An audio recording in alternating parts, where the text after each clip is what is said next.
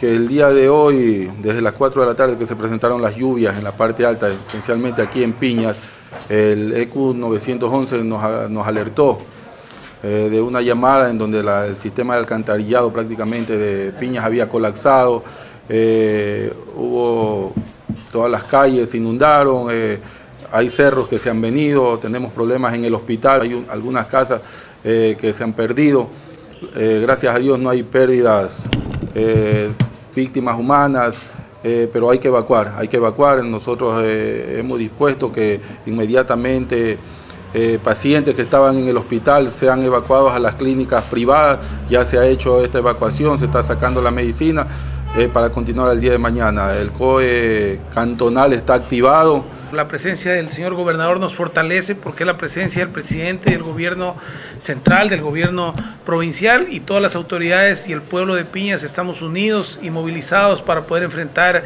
eh, las vicisitudes que nos presentan. Hay daños en el sector productivo, pérdidas de los agricultores, porcicultores, avicultores, hay viviendas en peligro, se necesitan bonos de resentamiento del Ministerio de la Vivienda y e inversión de Secretaría Nacional de Gestión de Riesgos en proyectos que están presentados por el gobierno municipal que han sido atendidos eh, parcialmente con ocho proyectos. Yo aspiro a que con el apoyo del señor gobernador tengamos eh, la presencia más frontal y decidida del gobierno nacional para atender todos los efectos adversos de la estación invernal.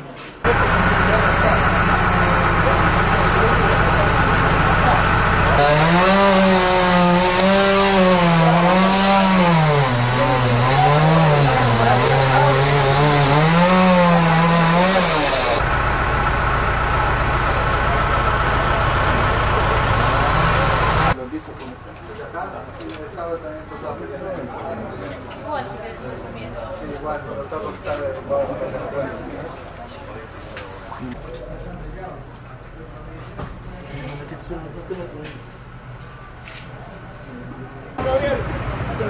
Eh, come fa a vedere isso? Na cabeça!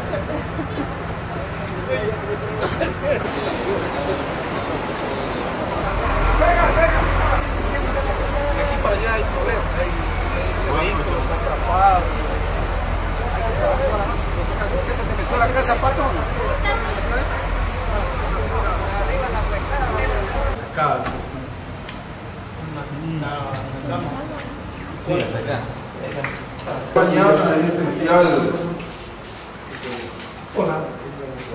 ¿Tuyo es esto? Ah, sí,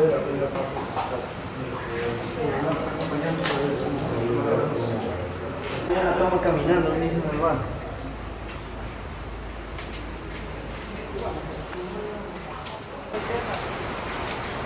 La linterna trae para acá.